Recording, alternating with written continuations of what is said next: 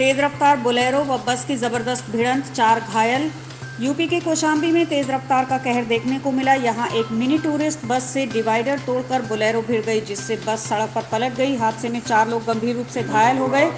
उन्हें जिला अस्पताल में भर्ती कराया गया। जानकारी के अनुसार प्रयागराज से लगभग 22 लोग शादी समारोह में शामिल होने के लिए आगरा टूरिस्ट मिनी बस से जा रहे थे। सैनी कोतवाली के गुलामीपुर के पास अचानक एक तेज रफ्तार बोलेरो डिवाइडर तोड़ते हुए बस से टकरा गई, जिससे बस अनियंत्रित होकर पलट गई। हादसे में अनुज राजकुमारी, रिया व आशा गंभीर रूप से घायल हो गए। चीख पुकार सुन मौके पर लोगों की भीड़ जुट गई। घायलों को एंबुलेंस से मंझनपुर के जिला अस्पताल भेजा गया। यहाँ पर उनका इलाज चल रहा है। पीड़ित नरेश ने बताया कि हम सभी लोग आगरा शादी समारोह में शामिल होने के लिए जा रहे थे। बुलेरो की टक्कर से बस पलट गई जिससे चार लोग घायल हो गए। इनका जिला अस्पताल में इलाज चल रहा है। जी कैसे क्या घटना हुई थी?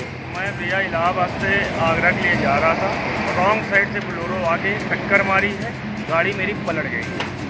जिसमें से दो तीन लोग हमारे जख्मी हुए हैं उनको हॉस्पिटल ले गया है और किसी की हताहत होने की खबर? नहीं कोई ऐसा कोई बात नहीं। आपका शुभ नाम? शक्ति त्रिपाठी। गाड़ी के ड्राइवर जी। कैसे एक्सीडेंट हुआ क्या मामला है अपोजिट साइड से जो है रॉन्ग साइड जो है डिवाइडर पार करके आगे हमारी गाड़ी में उसने टक्कर मार दी।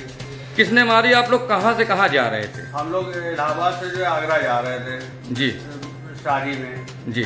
तो वहीं पे सामने से उन्होंने रॉन्ग साइड में डिवाइडर पार करते हुए जो हमारी गाड़ी में टक्कर मार दी और गाड़ी पलट गई। कितने लोग घायल? चार लोग घायल हुए। अपना गुड नेम बता दीजिए। नरेश कुमार।